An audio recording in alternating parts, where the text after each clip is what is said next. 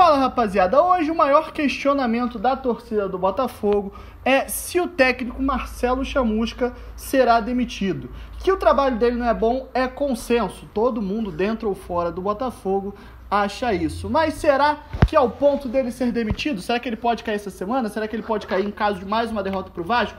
Enfim, a gente vai tratar sobre tudo isso aqui no nosso vídeo de hoje, mas antes não se esquece aí de se inscrever no nosso canal, ativar o sininho das notificações deixar o seu like, deixar o seu comentário, compartilhar esse vídeo com os botafoguenses que você conhece, porque será o tema do vídeo do Reserva Negra de hoje. Meu nome é Cadu Barbosa e bora pro vídeo. Fora da Copa do Brasil, das fases finais do Campeonato Carioca e em desvantagem na Taça Rio, a pressão em cima do trabalho do técnico Marcelo Chamusca tem sido muito grande, tanto por parte da torcida e até por parte internamente de alguns conselheiros. Apesar das fortes críticas, a diretoria do Botafogo mantém a confiança no treinador e não deve demiti-lo por agora. Mesmo com o desempenho da equipe bem abaixo do desejado, e isso é consenso tanto de todo mundo hoje que dentro e fora do Botafogo, o treinador ele não só segue no cargo, como tem trabalhado nos bastidores ao lado do diretor executivo de futebol Eduardo Freeland na busca por reforços para o restante da temporada.